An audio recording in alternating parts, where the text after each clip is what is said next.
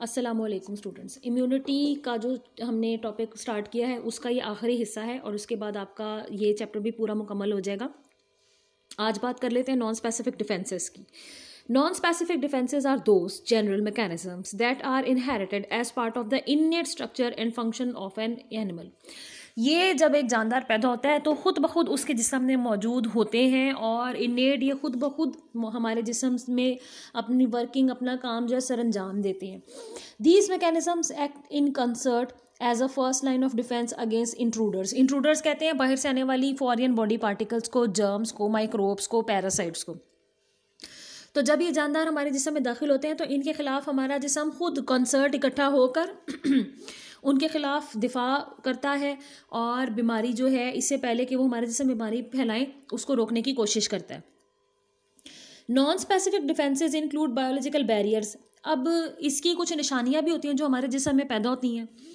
तो इसमें वो रुकावटें पैदा होती हैं जिनसे पूरी कोशिश करती है हमारी बॉडी कि यहीं पर जर्म्स को और इनके एक्शन को रोका जा सके। मिसाल के तौर पर इन्फ्लामेशन किसी जगह सोजिश पैदा हो जाना, आपकी बॉडी में किसी जगह जो है वो वूंड लग गया और वहाँ कोई माइक्रोब्स जो है वो एंटर हो गए हैं तो हमारी बॉडी के जो सेल्स हैं वाइट ब्लड सेल्स वो उनके खिलाफ लड़ना शुरू कर देते हैं, लेकिन उस जगह पर थोड़ी सी सोजिश पैदा हो जाती है और सूज जाती है वो जगह तो उसे हम कहते हैं इन्फ्लामेशन फिर फाइगोसाइटोसिस जाहरी बात है कि इसमें जो वाइट ब्लड सेल्स हैं मैक्रोफेजेज हैं, ये फाइगोसाइटोसिस करके ऐसे माइक्रोब्स वगैरह को ख़त्म करने की कोशिश करते हैं। ये हमें चीज़ नज़र तो नहीं आती, लेकिन हमारी बॉडी में हो रही होती है।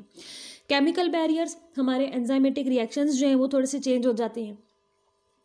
और इंटरफेरॉन्स ये हमारे जिसम में बनने वाले कुछ कंपाउंड्स हैं जो कि जो कैंसरस सेल्स हैं और जो वायरल जो बीमारी हैं, उनके नतीजे में पैदा होने पैदा होने वाली चीज़ें हैं इंटरफेरॉन्स तो ये उनके इफ़ेक्ट को कम करने की कोशिश करते हैं।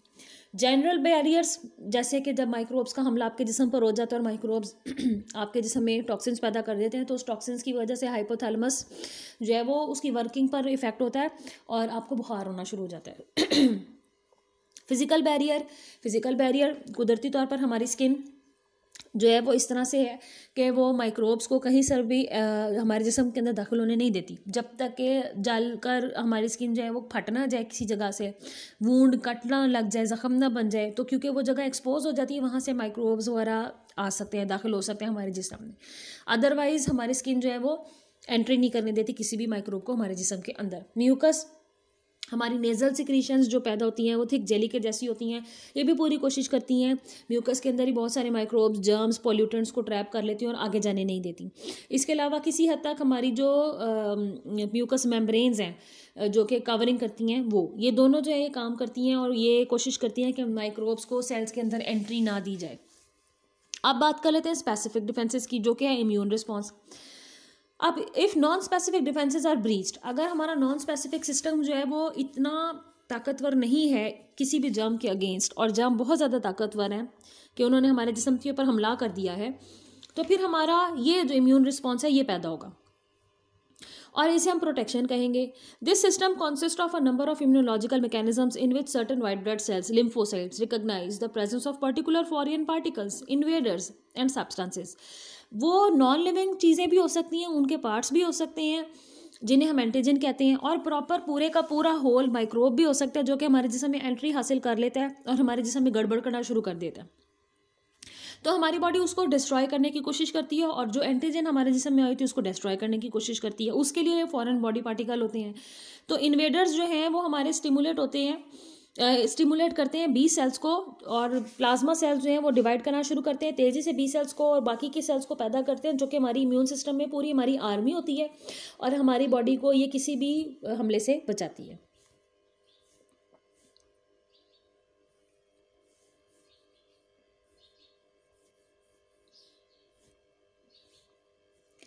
यहाँ डायग्राम जो है, इसको मैं आपको एक्सप्लेन कर दूँ।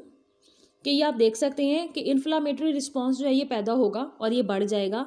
और हम देख सकते हैं कि जो मैक्रोफेज है, ये एक जो माइक्रोब है, एक फॉरेन बॉडी पार्टिकल है, उसको वो घेरे में ले रहा है और उसके साथ आपको वाई शेप स्ट्रक्चर नज़र आ रहे हैं, जो कि एंटीबॉडीज़ हैं। एंटीबॉडीज़ उसके रिसेप्टर्स को कवर कर रही हैं ताकि ये हमारे सेल के साथ बाइंड ना कर जाए।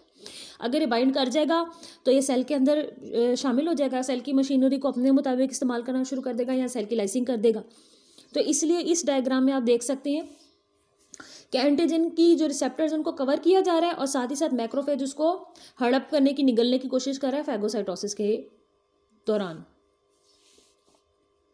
ये आप देख सकते हैं antigen and self complex displaying antigen and self markers ये सेल्फ मार्कर्स होते हैं, इनमें ऐसी प्रोटीन्स ऐसे कंपाउंड्स होते हैं जिनकी मदद से इनको पहचान भी लिया जा सकता है। और एंटीजेंस के ऊपर जो मौजूद ये स्ट्रक्चर पर मौजूद जो एंटीजेंस इनके छोटे छोटे पार्ट्स होते हैं, वो भी मेनली प्रोटीन ही नेचर होते हैं। ये सेल्स के रिसेप्टर्स के साथ जो है, ये अटैच करने की सलाहियत रखते हैं। अगर अटैच कर जाएँगे तो सेल के अंदर दाखिल हो जाएँगे। यहाँ आप देख सकते हैं कि मैक्रोफेज जो है ये सेल्फ मार्कर्स इसने अपने साथ रखे हुए हैं। इसने आइडेंटिफाई कर लिया एंटीजन को और ये उसको इनगल्फ करने की कोशिश कर रहा है। और ये एंटीजन के ऊपर भी आप देख रहे हैं पूरी स्ट्रक्चर्स मौजूद हैं जिनकी मदद से इनको रिकोगनाइज करने में आसानी होती है। अब जैसे यहाँ पर डायग्राम में दिखाया गया कि स्किन अब्रेजन हो गई कहीं से स्किन में जो है रगड़ पड़ गई है, जिसकी वजह से आपका वो जगह जिसम का एक्सपोज हो गया। तो बैक्टीरिया जो है उन्होंने दाखिल कर लिया है हमारे जिसम के अंदर। तो अब यहाँ पर आप डायग्राम में देख सकते हैं कि virgin B cells bind then the processes antigen on it surface के जो बी सेल हैं, उसके ऊपर अपने रिसेप्टर्स मौजूद होते हैं और वो बाइंड करने की कोशिश करते हैं इस एंटीजन को अपने साथ, ताकि मैं इसको किसी दूसरे सेल के अंदर दाखिल होने से रोक सकूँ, बचा सकूँ। और इसके साथ इसकी एंटीबॉडीज़ भी हेल्प करती हैं, जो कि एंटीजन के बाइंडिंग सर्फेसिस को कवर करने की कोशिश करती हैं, ताकि ये अटैचमेंट ना कर सकें। Helper T cells recognise the antigen self marker complex on B cells and an antigen presenting macrophage and activates B cell into the undergoing clonal expansion अब आप यहाँ देख सकते हैं कि यहाँ खासा बड़ा रिएक्शन हो रहा है। आपने देखा सबसे पहले कि बी सेल मौजूद है, उस पर एंटीबॉडीज़ मौजूद हैं, उसने एंटीबॉडीज़ के साथ मदद करके तो जो एंटीजन है उसको घेरा डालने की कोशिश की, उसको पकड़ने की कोशिश की है। उसके बाद हेल्पर टी सेल्स आ गए हैं। और ये मुख्तलिफ़ केमिकल्स वगैरह रिलीज़ करते हैं केमिकल मैसेजिंग करते हैं मैक्रोफेजिस को भी ये एक्टिवेट करते हैं। जैसे कि आप यहाँ देख सकते हैं कि वन एल टू जो है इसको रिलीज़ किया जा रहा है। और उसके बाद जो हमारे मैक्रोफेजेस हैं, उनको पैगाम पहुँचता है और ये एंटीजन को जो है वो कैप्चर करने की कोशिश करती हैं। ये साइकिल यानी कि इस तरह से भी चल सकता है। इसके अलावा some B cells progeny differentiate into antibody secreting plasma cell कुछ बी सेल्स स्पेशलाइज हो जाते हैं, वो मजीद एंटीबॉडीज़ को पैदा करना शुरू करते हैं। यहाँ वाई शेप में जो स्ट्रक्चर्स आपको नज़र आ रहे हैं, ये एंटीबॉडीज़ हैं। और एंटीबॉडी हमारे खून में सर्कुलेट करती रहती हैं और एंटीजन को आइडेंटिफाई करके उसको दोबारा कैप्चर करने की कोशिश करती हैं, उसको ब्लॉक करने की कोशिश करती हैं। और साथ ही साथ मैक्रोफेज जो हैं, उनको ख़त्म करने की कोशिश करते हैं, इसको इनगल्फ करने की कोशिश करते हैं। ताकि इसको यहीं पर पकड़ लिया जाए और सेल्स के अंदर इन्वेट ना करने दिया जाए। जबकि कुछ जो सेल्स होती हैं, वो मेमोरी सेल्स कहलाते हैं। ये एंटीबॉडीज़ की मदद से और बाकी असेसरी स्ट्रक्चर्स की मदद से एंटीजन्स को रिकॉग्नाइज करके रखते हैं और जब दोबारा एंटीजन का हमला हो जाता है या माइक्रोब का हमला हो जाता है तो इसको फ़ौरन आइडेंटिफाई करके ये डिफ्रेंशिएट करते हैं और उसके हमले को रोकते हैं। अब यहाँ पर उसने आपको बताया कि when the macrophages react with the helper T cell it releases interleukin ये एक कंपाउंड है। इंटरल्यूकिन वन स्टिमुलेट करते हैं हेल्पर टी सेल्स को। ये आपस में केमिकल मैसेजिंग के थ्रू बात कर सकते हैं क्योंकि सेल uh, जो है आपस में केमिकल मैसेजर्स से इस्तेमाल करते हैं एक दूसरे के साथ पैगाम रसानी के लिए। तो इससे दूसरे भी सेल्स को स्टिमुलेशन मिलती है ताकि वो डिवाइड करें रीडिवाइड करें, क्योंकि जब इन्फेक्शन किसी भी चीज़ का हमारे जिसम में होगा तो वो फैलता चला जा सकता है। और उसके लिए उतनी ही ज़्यादा हेल्पर टी सेल्स की बी सेल्स की और एंटीबॉडीज़ बनाने की ज़रूरत होगी। इसलिए केमिकल मैसेजिंग के थ्रू तैयारी की जाती है किसी भी इन्फेक्शन को हमारे जिसम में रोकने के लिए।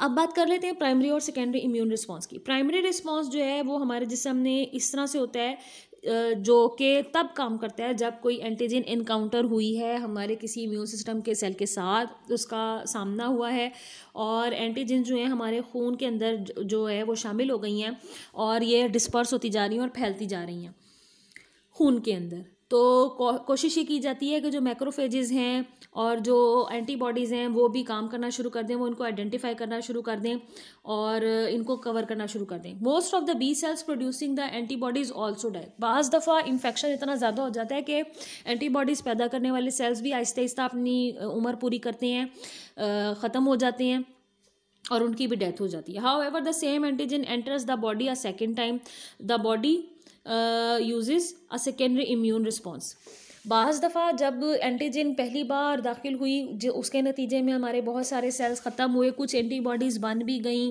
कुछ मेमोरी सेल्स ने उनको रिकॉग्नाइज कर भी लिया तो उस फाइट में हमारे अपने सेल्स भी मर जाते हैं, बहुत सारे वाइट ब्लड सेल्स भी मर जाते हैं, और वो पस की शक्ल में आपके जिसम से खारिज भी होते हैं।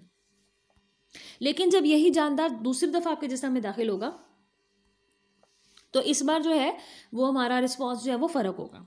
So the rapid response is possible because the immune system has a stored memory system तो हमारे मेमोरी सेल्स जो हैं वो स्टोर करके रखते हैं वो रिकॉग्नाइज करके रखते हैं और वो पूरी कोशिश करते हैं कि अब की बार जो हमला हुआ है उसका इफ़ेक्ट नहीं होने देना। इसलिए बाज़ दफ़ा आपको किसी जानदार का जो आ, हमला है हमारे जिसम पर जब होता है तो वो इतना स्ट्रांग नहीं होता और वो जल्दी हम उसमें ठीक हो जाते हैं क्योंकि हमारी बॉडी ने एंटीबॉडीज़ पहले बनाई होती हैं पहले उसके लिए तैयारी की होती है इसलिए उस इन्फेक्शन को जल्दी से कंट्रोल कर लिया जाता है।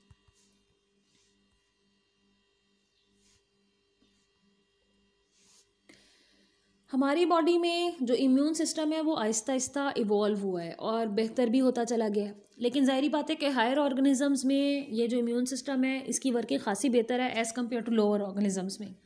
हायर ऑर्गेनिजम्स का जो एक्सपोजर है वो भी ज़्यादा है और हायर ऑर्गेनिजम्स में आपको पता है कि होस्ट जो है होस्ट का एज सच रिलेशनशिप है, वो भी डिफरेंट है बाकी के जानदारों के मुकाबले में लोअर ऑर्गेनिजम्स के मुकाबले में। तो हमारे जिसम ने जो है लिम्फेटिक सिस्टम भी किसी तरह थोड़ा सा काम करता है, हमारे जो लिम्फ नोड्स हैं, उनमें भी बाज़ दफ़ा फ़ाइट होती है, हमारे जर्म्स के अगेंस्ट लिम्फ नोड्स जो हैं वो स्वेल कर जाते हैं। हमारे कुछ ऑर्गन्स भी ऐसे होते हैं कि जिनमें सोजिश पैदा हो जाती है, जैसे गला ख़राब होने के नतीजे हमने आपके टॉन्सिल्स जो हैं, हलक में नीचे करके दाएँ और बाएँ दो होते हैं, वो सूझ जाते हैं, आपसे कुछ निगला नहीं जा रहा होता, क्योंकि वहाँ पर भी हमारी बॉडी के जो इम्यून सिस्टम है, वो फाइट कर रही होती है अगेंस्ट जर्म्स एंड माइक्रोब्स तो आहिस्ता आहिस्ता जैसे जैसे वो इन्फेक्शन कवर होता जाता है, और फिर आप दवाइयाँ भी लेते हैं to help out your body's immune system in this fight उसमें बाज़ दफ़ा इन्फेक्शन इतना ज़्यादा हो जाता है कि आपको फिर एंटीबायोटिक्स का इस्तेमाल करना पड़ता है, जो कि वो अद्वियात होती हैं, जो कि बैक्टीरिया को किल करती हैं। तो फिर आहिस्ता आहिस्ता वो इन्फेक्शन जो है वो कवर अप हो जाता है, उसको ठीक कर दिया जाता है। तो लिम्फेटिक सिस्टम भी एक तरह का, इसी तरह का सिस्टम है जो जिसने, जो कि मदद करता है। और ये ब्लाइंड एंडिंग वेसल्स होती हैं अल्टीमेटली कैपिलरी नेटवर्क से होकर ये लिम्फेटिक डक्ट्स को बनाती हैं, जो कि ड्रेन करते हैं टिश्यूज़ को, वहाँ से जो मौजूद इंटरसिटिशियल फ्लूड है, जो कि इकट्ठा हो जाता है, उसको भी रिमूव करते हैं वहाँ से और वापस खून का हिस्से बना देते हैं उसको। इसके अलावा ये ब्लड जो सेल हमारे जो टिश्यूज़ हैं, जो ऑर्गन्स हैं, उनकी आउटर लेयर्स को मॉइस्ट भी रखते हैं। सो टीलियोस्ट और टेट्रापोड्स की बात करें तो इनमें इंडिपेंडेंटली इवॉल्व हुआ लिम्फेटिक सिस्टम जिसमें लिम्फेटिक कैपिलरीज जो हैं वो ड्रेन कर देती हैं, बहुत ज़्यादा टिश्यू को और बॉडी फ्लूड्स को वापस खून में शामिल कर देती हैं। लिम्फ नोड्स और लिम्फोसाइट्स जो हैं, ये हमारे एक्वाटिक बर्ड्स में भी पाए जाते हैं मैमल्स में भी ज़्यादा अबेंडेंट होते हैं। और एडिशनल एग्रीगेशन हमारे लिम्फेटिक टिश्यूज़ की जो हैं, उसमें इन्वॉल्व करता है टी सेल्स इम्यूनोग्लोब्यूलेंस इम्यूनोग्लोब्यूलेंस वो प्रोटीन्स होती हैं जो कि क़वत मुदाफ़त के निज़ाम ने अपना स्पेशल रोल प्ले प्ले करती हैं। और मेनली ये एंटीबॉडीज़ ही बनाती हैं। तो इस, ये जो सारा सिस्टम है, ये बर्ड्स और मैमल्स में ज़्यादा बेहतर तरीके से इवॉल्व हुआ। बर्ड्स में अगर हम देखें तो बुरसा और फेबरीसियस हमने पढ़ा था। इसके अलावा मैमल्स में हमने हार्ट के पास एक थाइमस ग्लैंड भी पढ़ा है जो कि ग्लैंडुलर सिक्रीशंस भी पैदा करते हैं ये हॉर्मोन्स भी पैदा करते हैं, लेकिन इनका रोल हमारे जो लिम्फेटिक सिस्टम है, उसके साथ लिंक्ड करता है और मेन ये इम्यून सिस्टम के लिए काम कर रहे होते हैं। Both of this organs are particularly large and active in late foetal and young individuals अमूमन ज़्यादातर जब फीटस डेवलप कर रहा होता है तो उसकी बॉडी में, और जैसे जैसे जब जानदारों की बर्थ हो जाती है या बर्ड्स में अगर हम देखें तो उनकी हैचिंग हो जाती है तो उनमें ये एक्ट अपॉन कर रहे होते हैं। ग्रेजुअली आहिस्ता आहिस्ता जैसे जैसे एनिमल्स मिचोर होते चले जाते हैं तो इनका एक्शन जो है वो थोड़ा कम रह जाता है। So they play a functional role in processing of lymphocytes and development of immunological maturity एक दफ़ा ये कुत मुदाफ़त के निज़ाम को मेच्योर कर देते हैं, अपना खासा काम जो है वो पहले ही कर लेते हैं। तो आहिस्ता आहिस्ता हमारा जो इम्यून सिस्टम है वो खुद ही डेवलप होता चला जाता है, बेहतर होता चला जाता है और इसके नतीजे में जो हमारे ये ऑर्गन्स हैं, इनकी फंक्शनिंग थोड़ी स्लो हो जाती है और बाकी हमारा इम्यून सिस्टम क्योंकि इस्टेब्लिश हो जाता है तो फिर वो फ़ंक्शंस करता है और किसी भी एक्शन के होने के नतीजे में रिस्पॉन्स पैदा करता है और वो एक्शन होता है माइक्रोब्स इसका मतलब है कि जब भी इन्फेक्शन होगा तो हमारी बॉडी उसको अपने तौर पर पहले कवर अप करने की कोशिश करती है, उसको हल करने की कोशिश करती है। और, लेकिन जब इन्फेक्शन हद से ज़्यादा बढ़ जाता है, फिर हमें अद्वियात वगैरह की तरफ़ जो है आना पड़ता है, हमें क्योर यानी इलाज की तरफ़ आना पड़ता है।